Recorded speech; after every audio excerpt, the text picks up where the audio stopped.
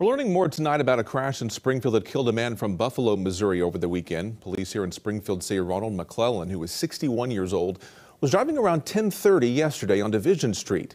He drifted off the road and struck a power pole. McClellan was brought to a local hospital where he was pronounced dead. Now, according to SPD, this is the city's 23rd fatal crash of 2022.